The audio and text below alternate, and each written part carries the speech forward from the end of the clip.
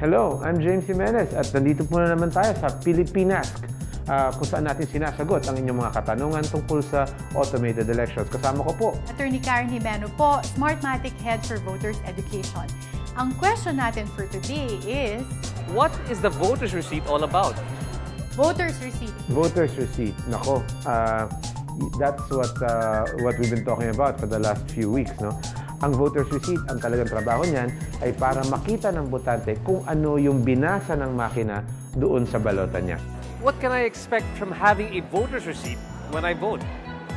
Because of the voter's receipts, there is a possibility na mas matagal yung maging voting time compared to the past election. Totoo yan. Kaya nga, ang isa sa ginawa ng komisyon ay pinalitan na natin yung voting hours. If you remember, Attorney Karen, it used to be from 7 to 5. But now it's going to be from 6 to 5. No? So we've added an extra hour up front to, just to make sure that we have uh, that much more time.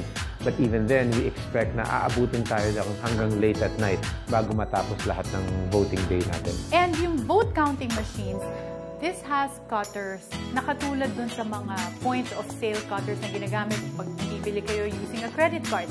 But to ensure na hindi magja-jam yung vote counting machine if you improperly pull the voter's receipt, scissors will be provided. Right, Director James? Tama. Ang procedure natin ay meron tayong isang election worker na nakatayo sa likod ng makina habang bumoboto yung botante at kapag nailabas na yung resibo, itutupi ng ating poll worker yung resibo at gugupitin.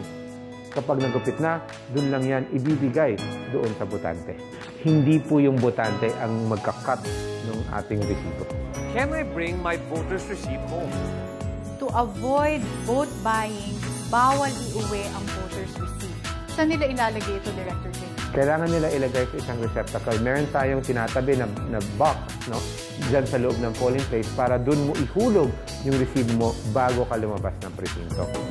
If you have any more questions about the 2016 elections, use the hashtag PilipiNask2016 and send it to us. Ating dangalay alagaan Maging tapat, huwag kalimutan whoa.